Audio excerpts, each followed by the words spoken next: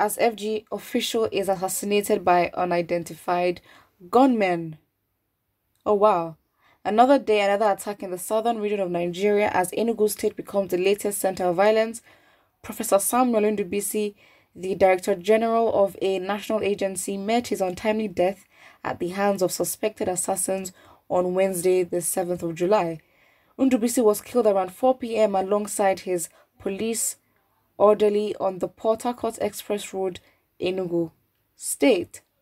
A report by the Punch indicates that Professor Samuel Ndubuisi, the Director General, Science and Equipment Development Institute, has been shot dead by unknown gunmen in Enugu State. The deceased was killed on the Port Harcourt Express Road, Enugu, around 4 p.m. while reportedly on his way on his way home. Ndubuisi's death was confirmed by Daniel Ndukwe, the Enugu State Police Command spokesman. He noted that the information surrounding the incident was still sketchy.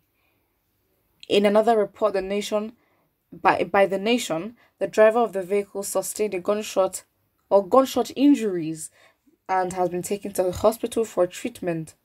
It was gathered that the Enugu State Governor Ifeanyi Ugwuanyi um, visited the scene. According to the report, the car riddled with several bullet holes was driven into the gutter. As of the time of filling this report or filing this report, the reason for the attack has not yet been established as nothing was taken from the vehicle or its occupants.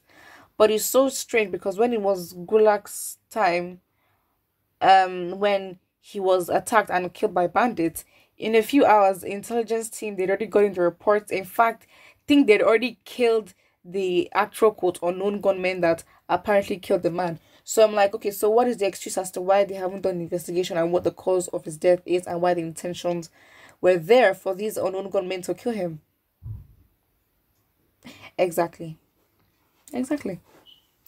Somebody here says, May the soul of the departed rest in peace. By God's grace, the people responsible for this act of terror will be brought to justice.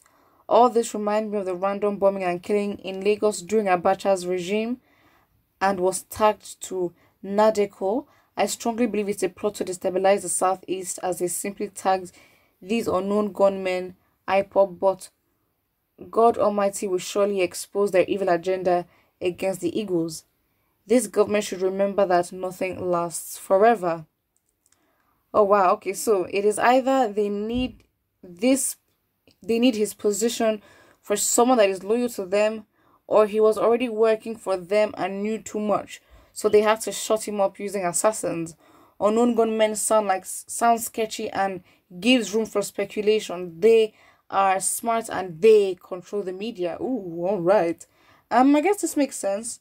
Um again it, this now goes into the whole into the whole conversation of the title unknown gunmen. We've had this title for how many months now? Unknown gunmen. These men are still unknown, and um, I just think that just gives room for speculation, as this person has said, because it then leaves the audience, the citizens, to then fill in the gap of who the unknown gunmen are, and of course, this then leads to you know fueled rumors that the that the unknown gunmen are ESN or they're bandits from this place. We do not know, and I think that is just like it's just so sad. I, I don't even know how to describe it. Like, I don't know if I should call it like an intelligent tactic to absolve someone from the blame or to absolve the government from actually doing anything because to them they still do not know who these men are. But it's it's so confusing. Hmm. Um. But someone says, Lord, they thought unknown gunmen were said to be DSS, but then the DSS are a secret police, so again, they don't really have a uniform or anything. We just know that it exists. So it could be them. I don't know. Uh, somebody says this is the hand of this is the handbook of the DSS. Period. Okay. So, so this means that there is no place to be saved in Nigeria, and the north is the most unrest place where bush terrorists and kidnappers lead. Right. Um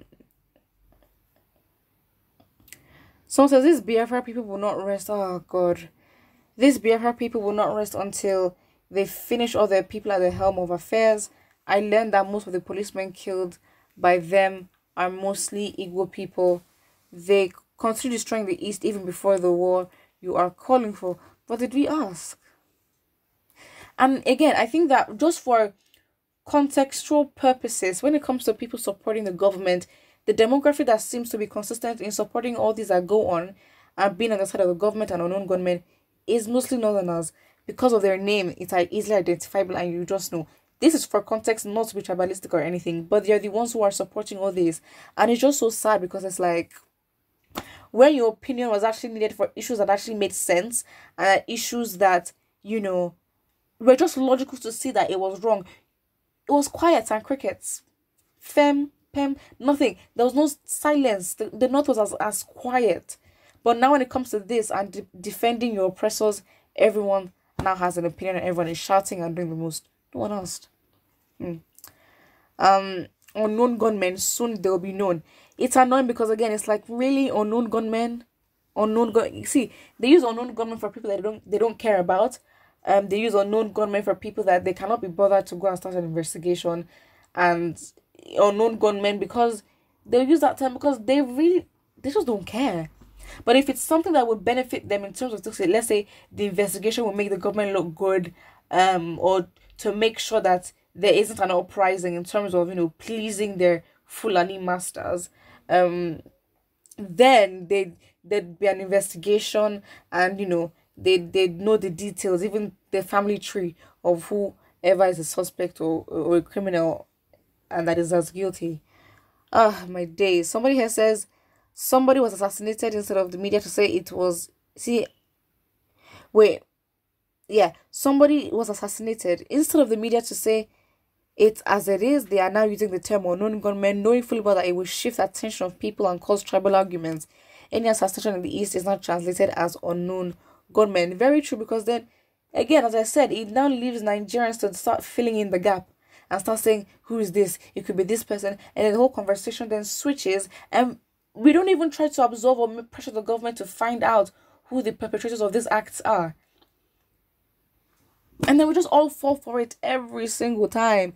The conversation is always changing. Somebody says this must be the handwork of enemies of Ndigbo who are doing everything to keep Ndigbo as Nigerians. They are secretly bringing killings to the land, but God will expose them. All right. Um. So, what is the meaning of all this rubbish? um we're just wasting those that are supposed to make this country great all right so say this man is my director a very kind man so kind to a fault hmm Sedi Enugu is in deep pain. This is absolutely sad, but yeah. Put what you think about this in the comment section below. Don't forget to like and subscribe.